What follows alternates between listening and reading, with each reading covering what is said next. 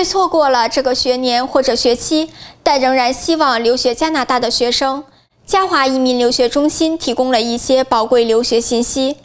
留学签证共分为三种，分别是普通学习许可证签证、学习植入计划和学生合作计划学习许可签证。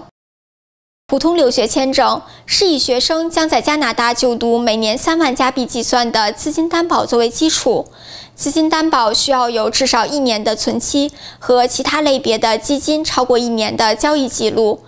申请者需保持存款的正确来源证据，此笔存款的积累是能够清楚说明来历的。SPP 计划是适合在课程开始前二十四个月内取得平均分不低于五点五分的雅思成绩。无需资金历史，但仍需要担保单。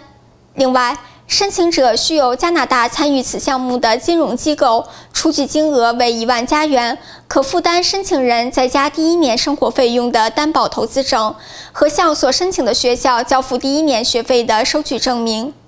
SPP 计划目前与中国区域合作的学校共有四十九所。